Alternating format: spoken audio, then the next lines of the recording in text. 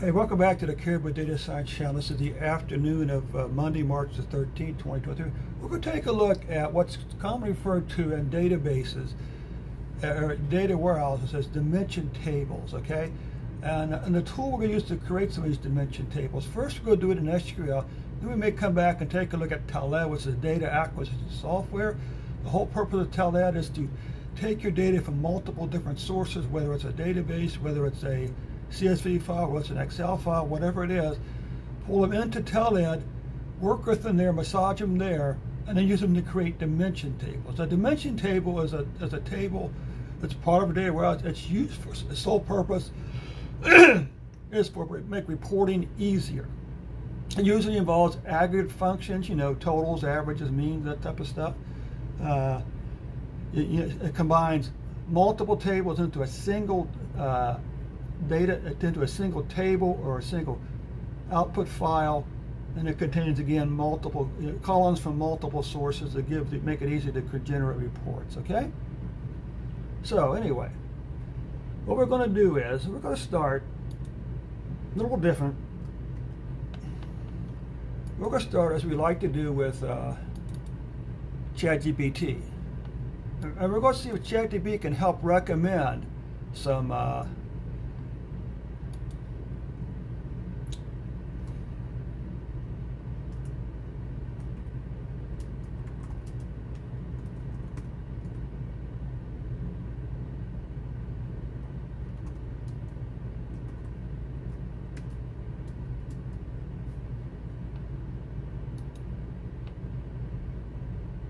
dimension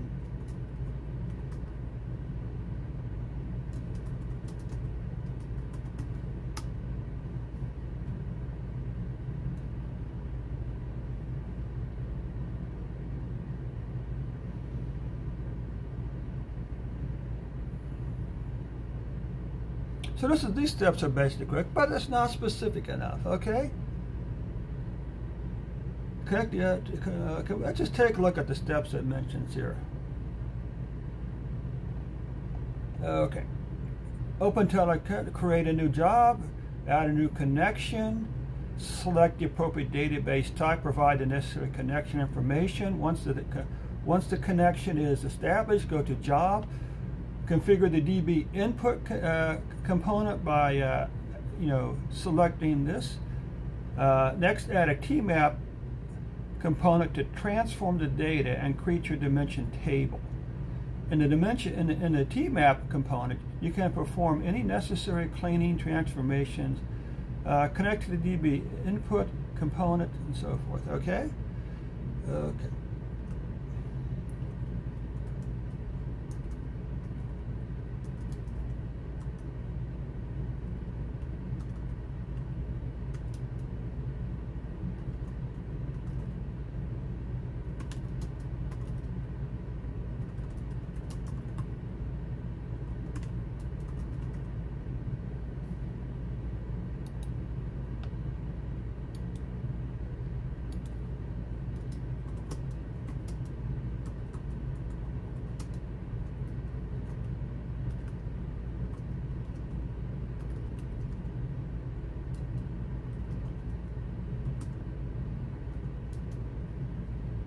I think it's A.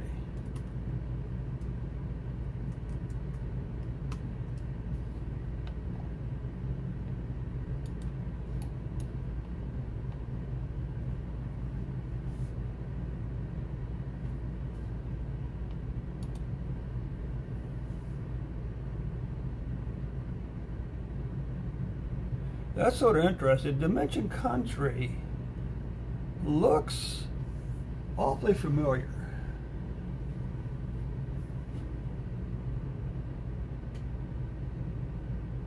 Okay.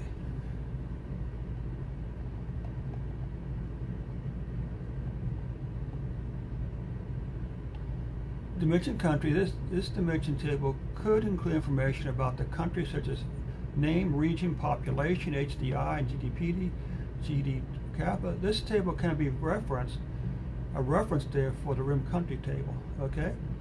DBM commodity, this dimension table could include information about the commodities such as uh, commodity name, commodity code, flow, co flow quantity, and product ID, and so forth. All right.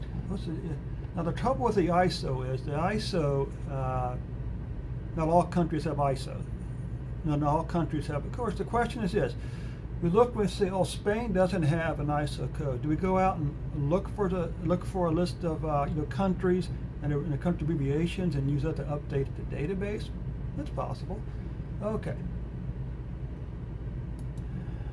You know what let's do? Uh, so let's come over here. So the first thing we have to do is to create our connections, okay?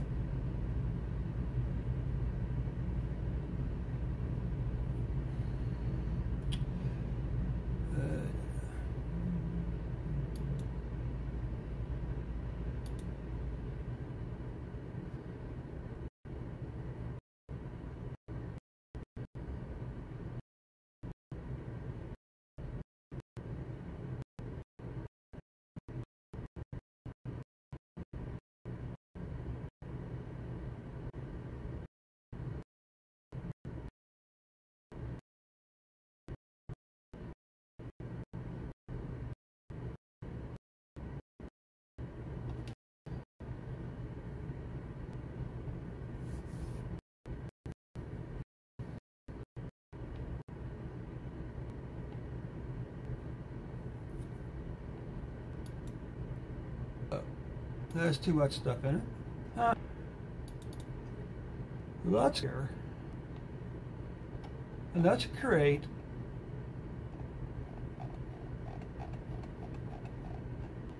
base called dimension tables. Okay, uh, let's make a project called dimension tables.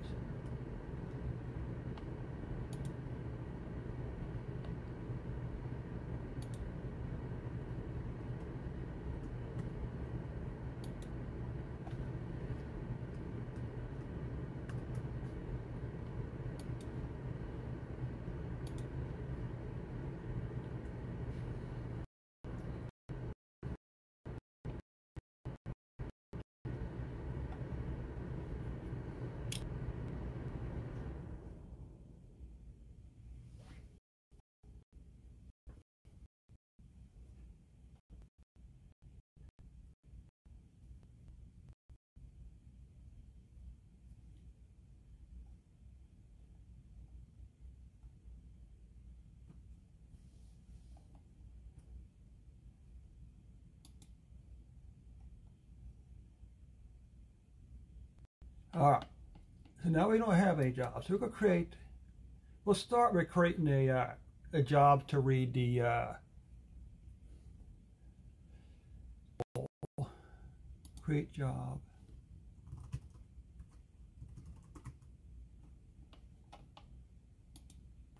Okay.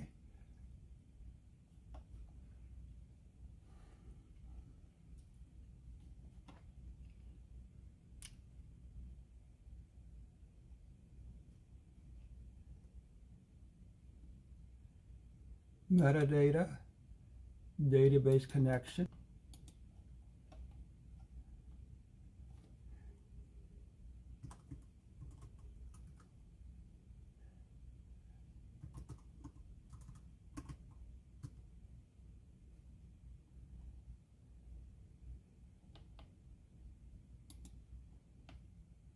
database, file,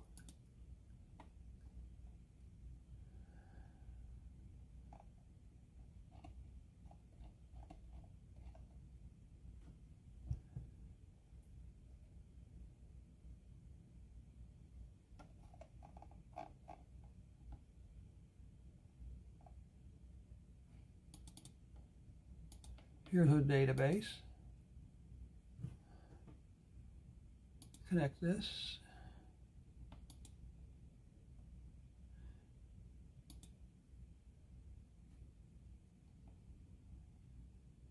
So I'll come over here.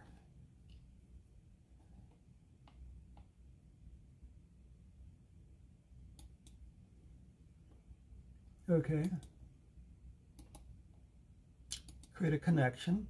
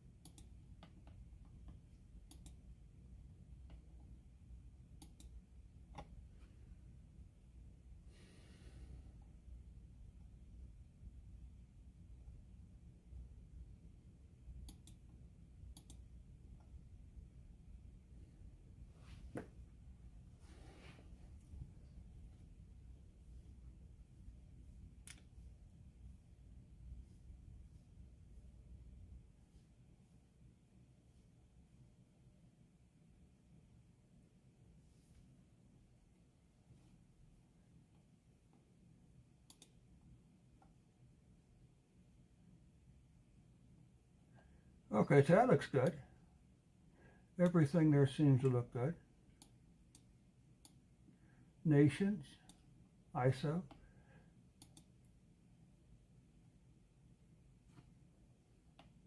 And we'll finish all this there.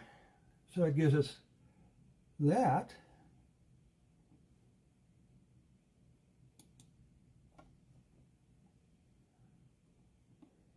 Let's come down, let's do an Excel. And that's just to read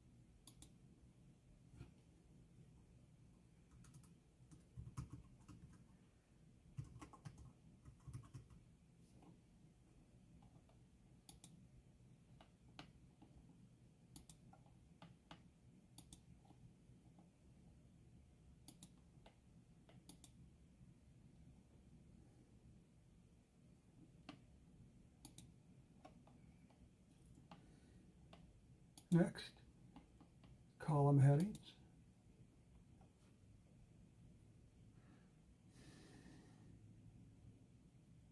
Good.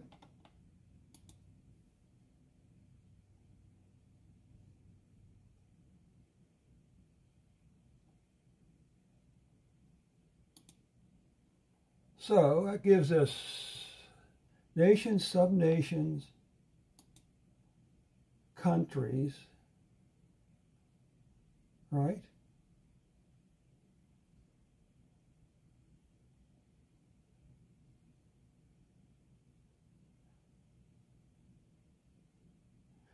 And the last thing to do is commodity.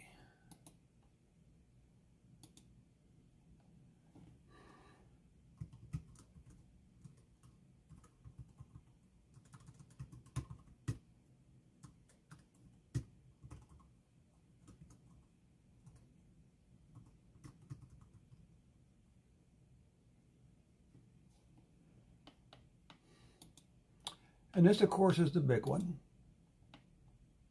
Commodity trade. Windows. And here and here's the tricky part. You, if you look, you can see like you got sheep's come alive within within quotes. So what we have to do is to tell it that that this that this uh, quote is not actually part of the field itself. Those those are just uh, outlines of field. Just go over here, uh, semicolon or colon, do this over here, text enclosure like that, head,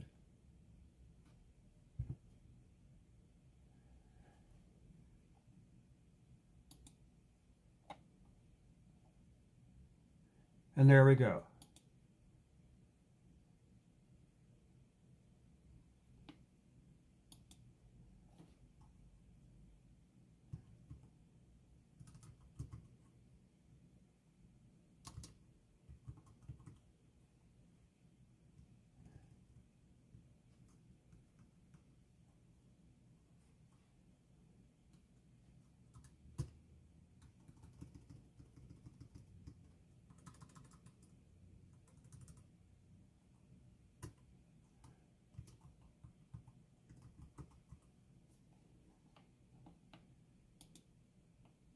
Okay.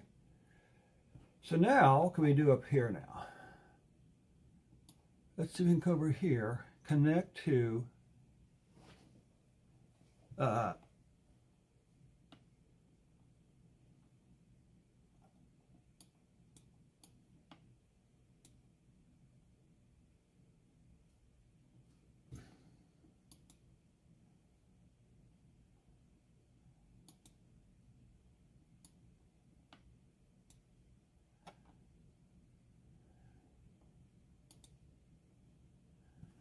Okay, commode.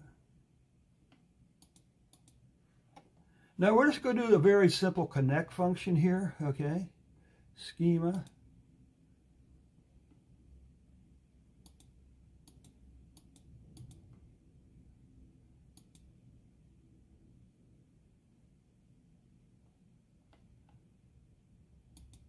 Is it possible to create a schema here? No.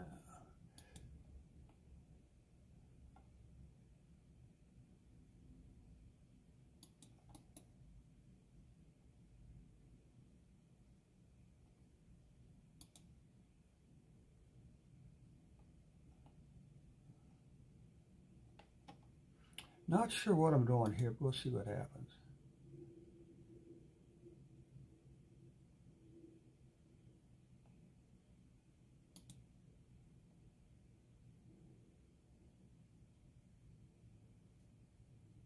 Yeah, we'll worry about that, I guess.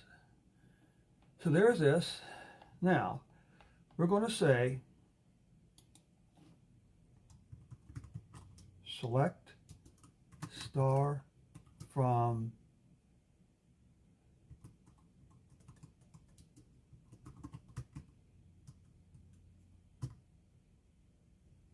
okay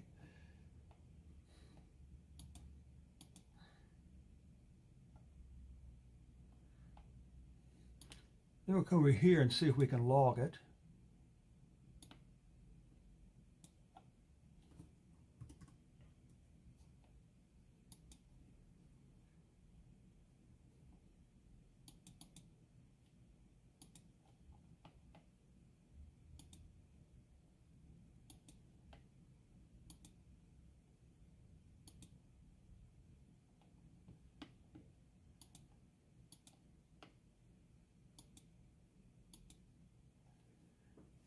Uh, I can't remember what all is on nations.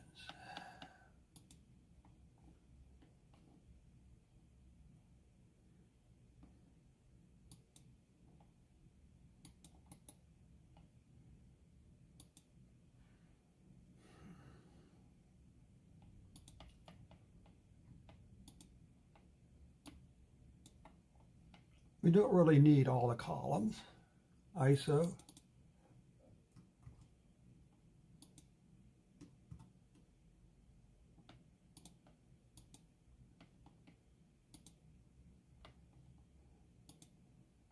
Country.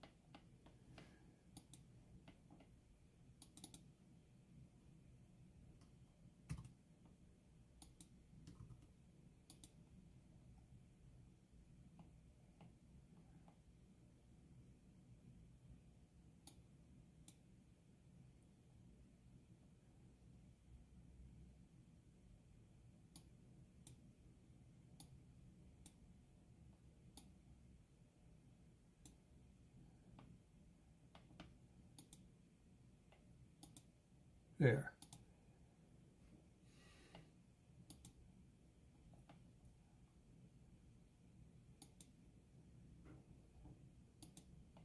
So let's go over here now. Let's see if this will run.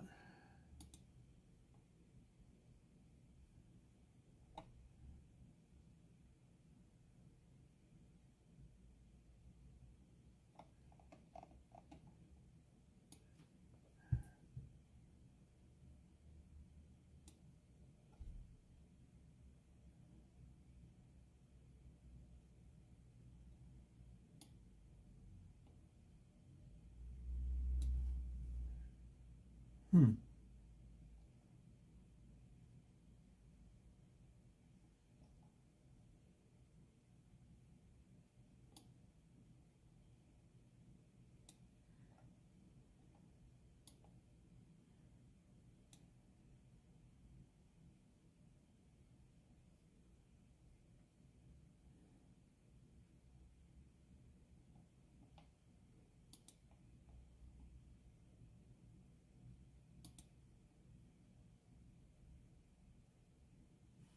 What's wrong over here? Where's the error?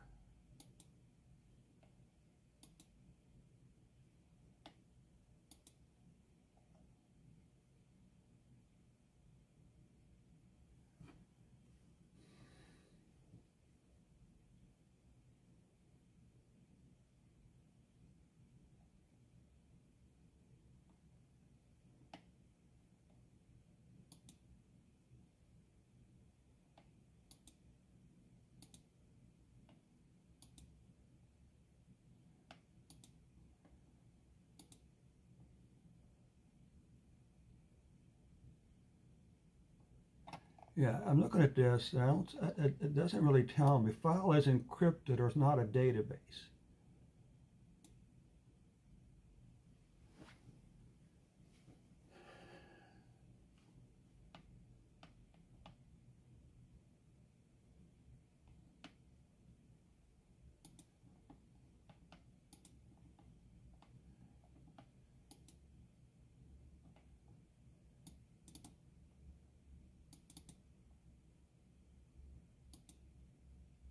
Maybe I'm not looking at the right thing. Let's come back over here. Edit connection. Oh, the trouble was I wasn't looking at the right thing. This is what we want. I was looking at an Excel file. This should work just fine now.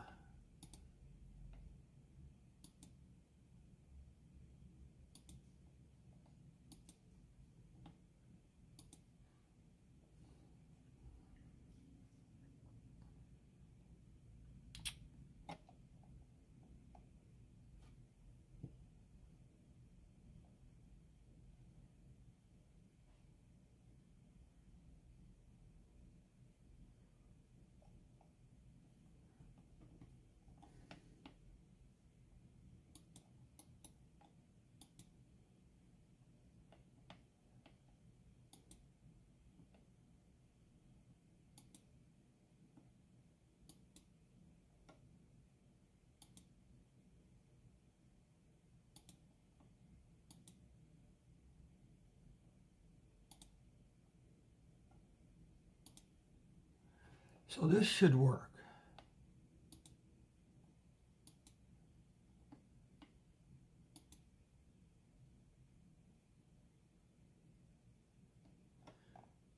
Hmm. Okay. You know, let's let's don't get hung up on a single thing. So let's come back over here, create a new job. Let's call this read underscore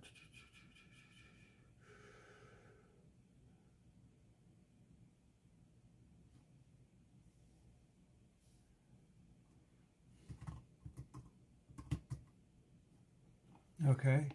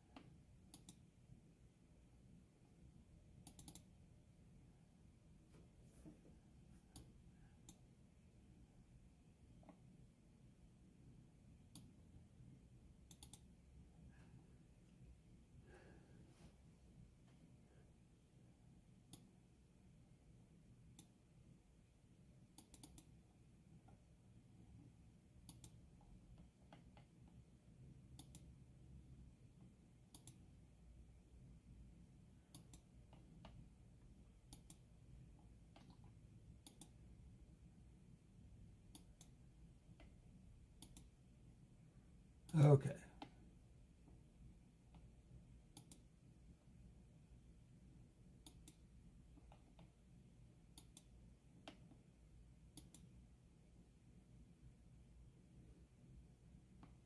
Okay, so this works. Very good. Very nice. Okay, so let's, let's create another job. Let's make let's make this job the Excel file.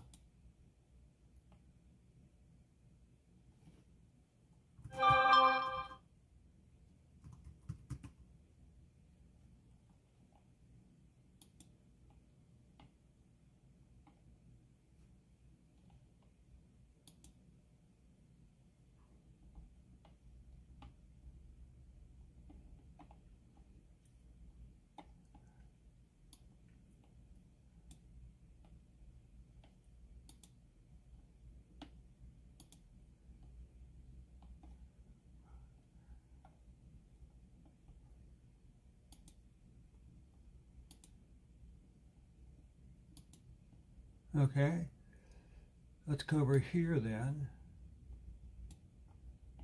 Log rows.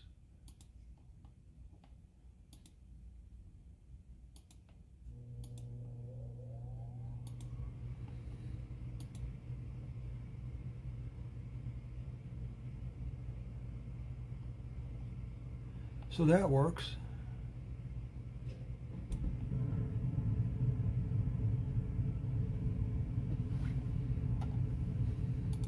And finally, let's create a job.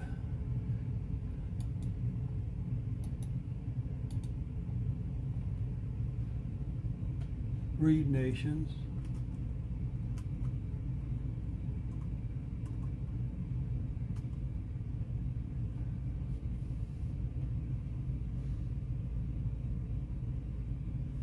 Nothing, right.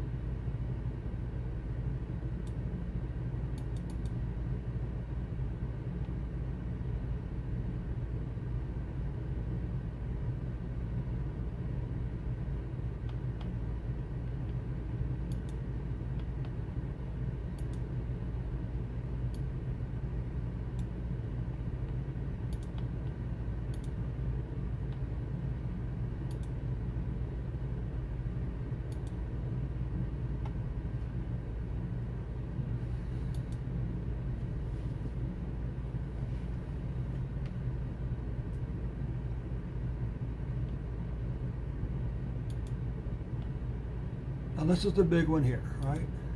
This is the one, will it work? Could get some errors on some of the columns. Nope, it doesn't. Excellent. So, we're three for four so far on uh, on get on, on connecting to data sources. We connected successfully to CSVs and now Excel. All right, let's kill this.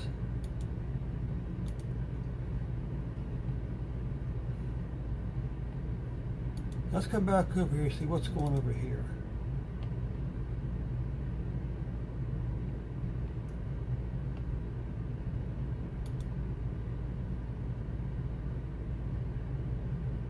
Let's do this.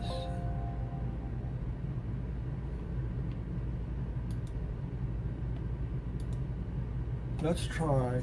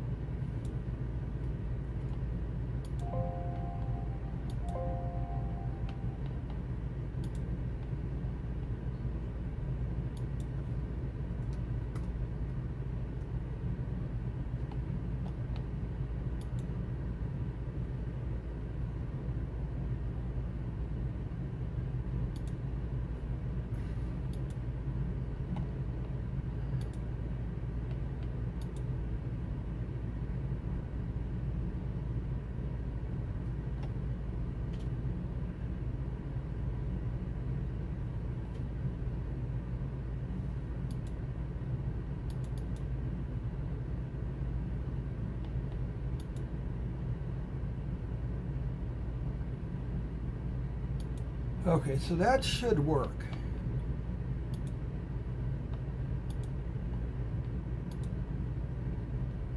Right.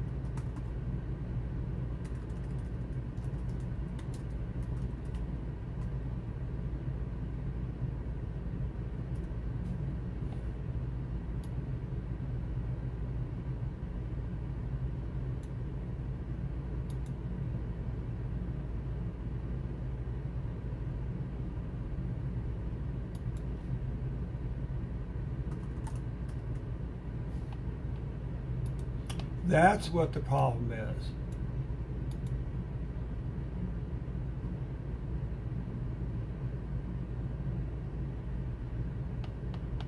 Let's see if I can come over here. Clear this, come back over here.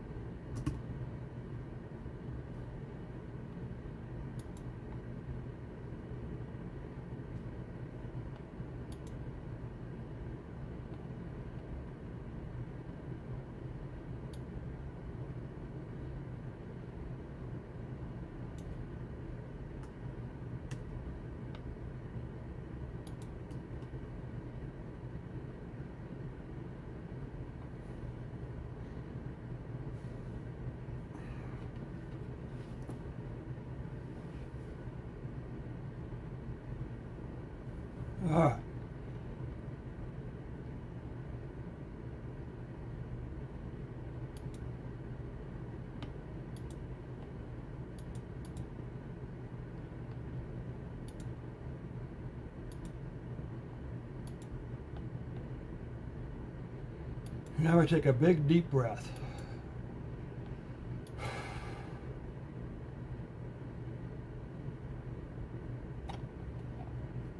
Okay, it started to. I read the I read the columns. Maybe it's because it's opened. Because I read the headers. No. Oh, jeez.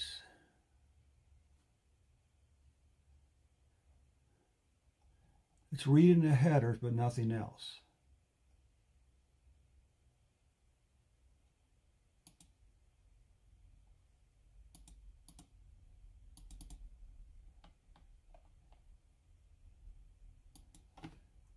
and said.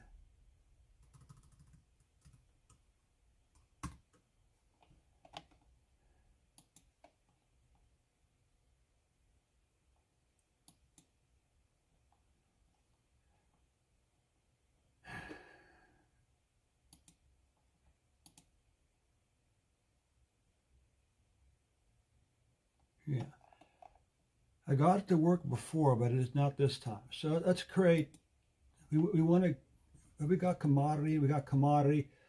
Let's do one more database. Only this time let's do it with Postgres. Connection,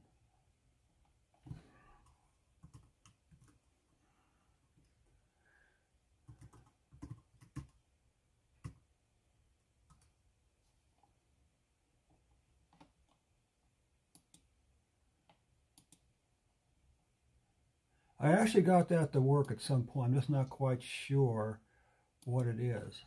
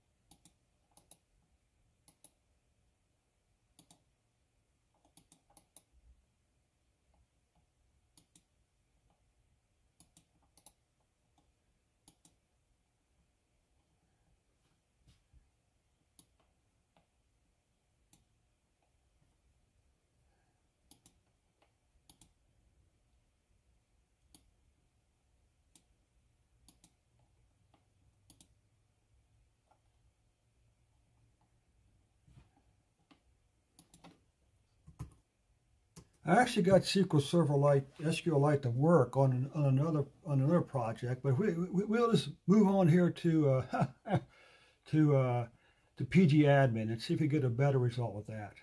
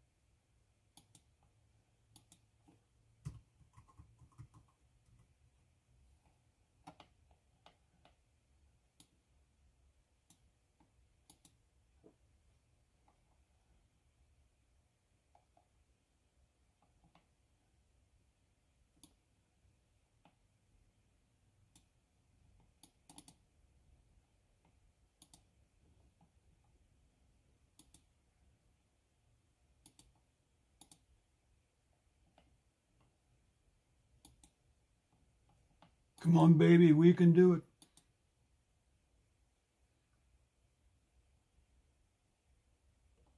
And there you go, folks. Uh, we connect. We used uh, Talend to to connect to a uh, CSV file, to an Excel file, and now to a Postgres file. Okay, very good, very good. All right, that was a bit of relief there. I was getting a little concerned there. So uh, for the time being, we'll continue to work with Postgres. Okay, and the CSV files, Excel files. But anyway, that does conclude just today's brief video. This is a this is a building process, so we will continue to work on this uh, as time goes on, as I, as I learn more and more. Okay. What's interesting, I actually had contact, an email from a, a message from a recruiter on LinkedIn who specifically asked about, do I have any experience using Talend data acquisition software? I said, well, yes, I have. I have like uh, 40 hours worth of experience. But anyway, you know, like like most things, it's, it's designed to be fairly easy to use. Okay. All right. Okay, so that does conclude this brief video. We were on for 44 minutes, a little longer I thought, but that does conclude this video.